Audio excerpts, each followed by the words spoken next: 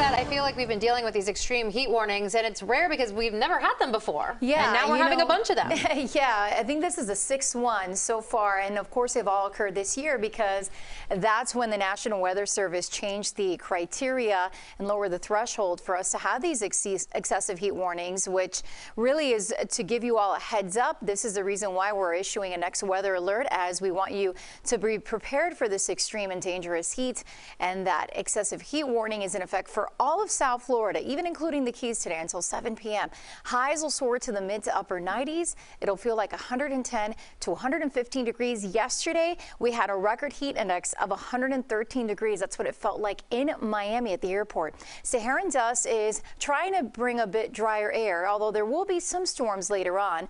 Although the rain chance will remain relatively low for this time of year through the work week, changes ahead for your upcoming weekend. And as you're already starting to make those plans, I will let you know why we're going to see more in the way of storms, but that'll also bring us some relief from this heat.